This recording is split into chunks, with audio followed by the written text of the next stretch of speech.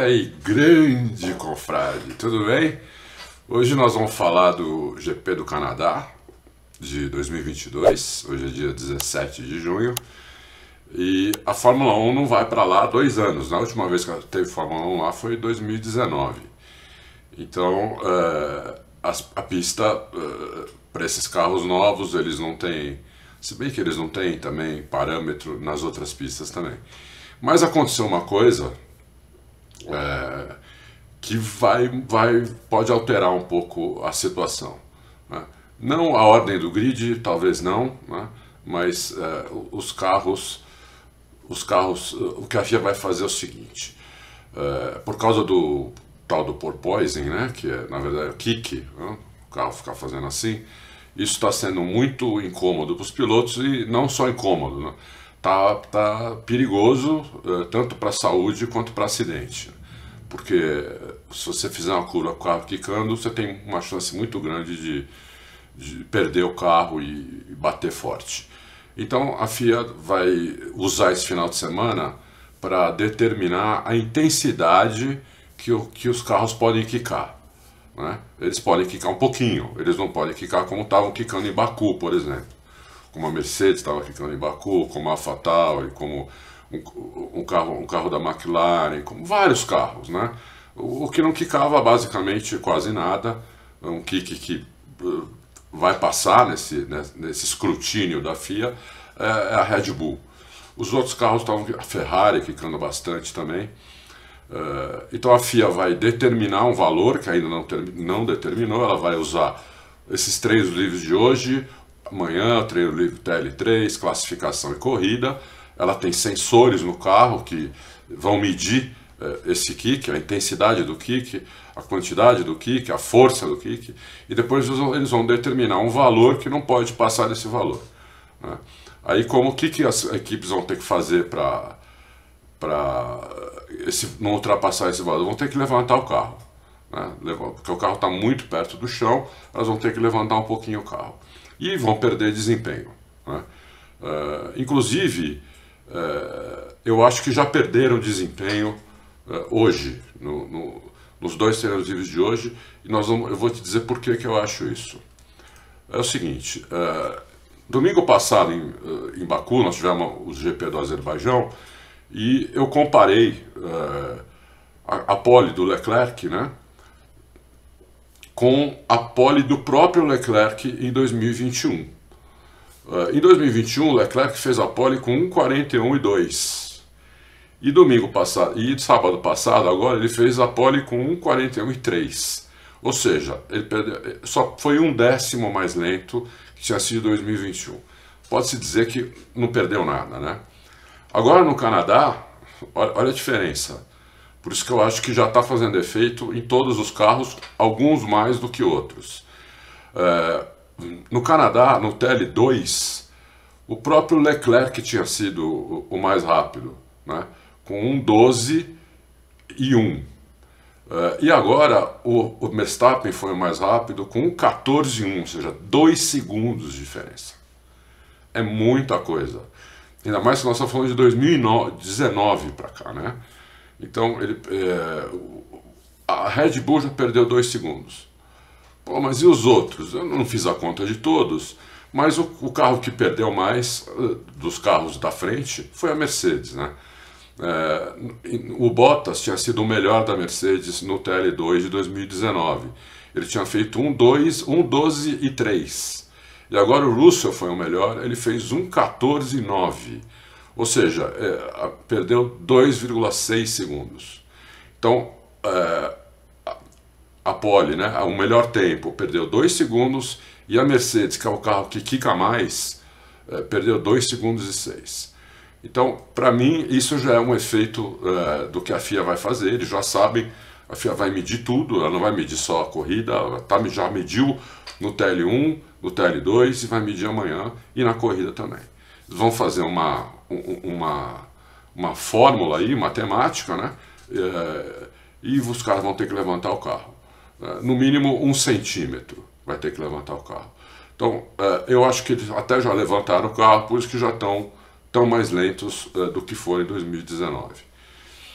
Então, é isso aí, né? É, tem, que, tem, que, tem que mudar porque está perigoso, está perigoso para a saúde, está perigoso por acidente. E na história da FIA, sempre ela mudou, né? quando foi uma questão de segurança.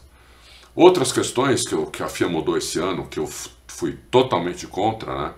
foi primeiro o, o peso mínimo, que só a Alfa Romeo tinha conseguido o peso mínimo, as outras estavam todas mais pesadas, aí a FIA aumentou o peso mínimo, prejudicando a Alfa Romeo, né, absurdo, e agora a FIA, as equipes, principalmente a, a Red Bull, a, que é totalmente contra o que a FIA está fazendo agora, com o negócio de levantar o carro, está é, liderando o movimento para aumentar o, o, o, teto de orçamento. É, essas duas coisas sou contra aumentar. Né? O teto de orçamento eu até entendo aumentar um pouquinho por causa do, do transporte, que aumentou 60% o valor do transporte no mundo. A Fórmula 1 usa muito transporte, logística, né? corre no mundo inteiro. Então, uma boa parte do orçamento total dos 145 milhões de dos 140 milhões de dólares que eles têm é, é, é disso. Então, isso eu sou a favor que aumente um pouquinho, né? Ver quanto é de 140 milhões, qual é o valor de transporte, digamos que seja 10 milhões, eu sou a favor que aumente isso para 6 milhões, então, né? Já que aumentou 60% o transporte, que é uma coisa que realmente ninguém podia prever por causa da guerra aí da, da, da Rússia invadindo a Ucrânia. É, é isso aí. Bom, é, vamos falar um pouquinho então agora do, do, do treino, né, dos tempos de hoje, é, para ver como é que foi. Vamos começar pelo. Vamos começar sempre por trás, né? É, do grid. O, o Bottas não marcou tempo porque ele, aqui, aqui no TL2, porque não saiu, né? A, a Alfa Romeo continua aqueles gremlins que a gente falou. Né?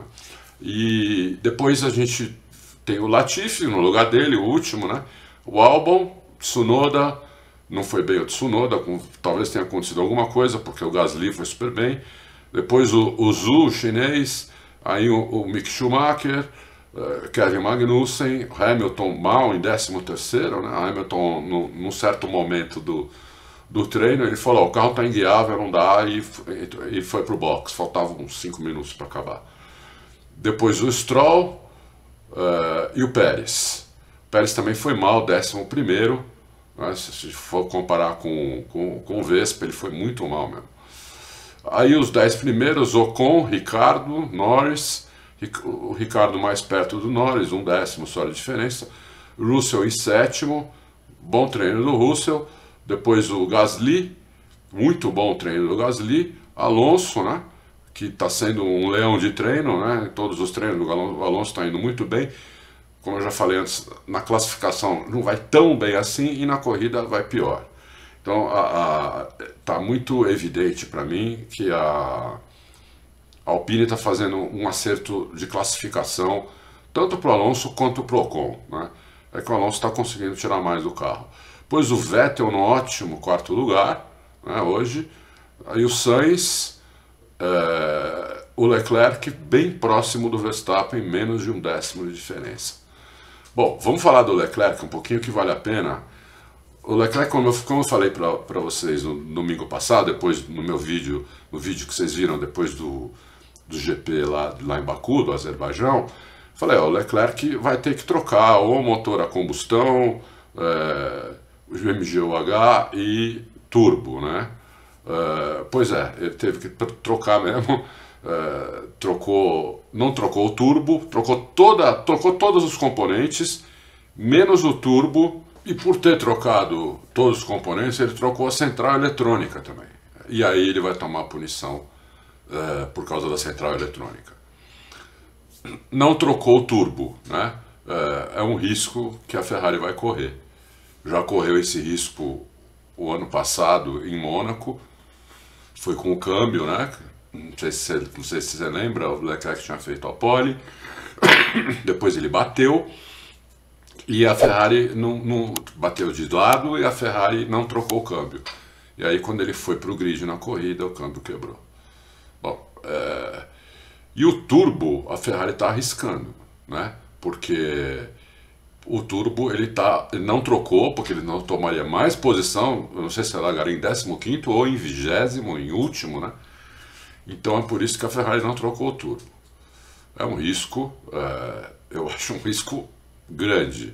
Vamos ver, vamos torcer para que isso não isso não, não, não, quebre, né? E, porque senão, além de largar, perder 10 posições no grid, já pensou se quebra? É mais uma corrida zerado, aí o, o Vespa some na frente, aí o campeonato fica muito difícil, fica muito bem encaminhado aí pro Vespa.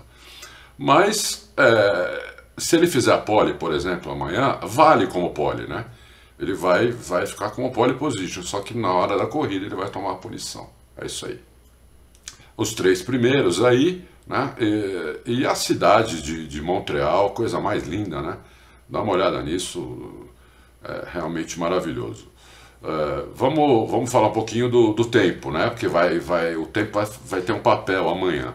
Amanhã tem uma previsão de 97%, 92% de chuva. Ou seja, deve chover mesmo amanhã? Na classificação.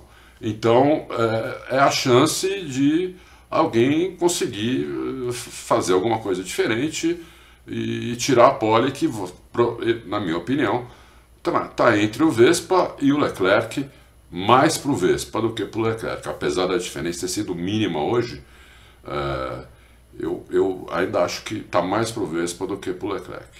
Né? Para domingo a previsão não é, não, não, é zero de chuva, então não, não deve chover na corrida. A não ser que os caras errar, errarem muito aí no, nessa previsão, estiver muito furada. Né? Mas está zero a previsão. Então mas amanhã é 92%. Então vamos ficar esperto amanhã, é, TL3, depois classificação e depois a gente vem aqui para fazer um vídeo novo, tá bom? É, boa sexta-feira, bom final de semana e a gente se vê amanhã. Um abraço.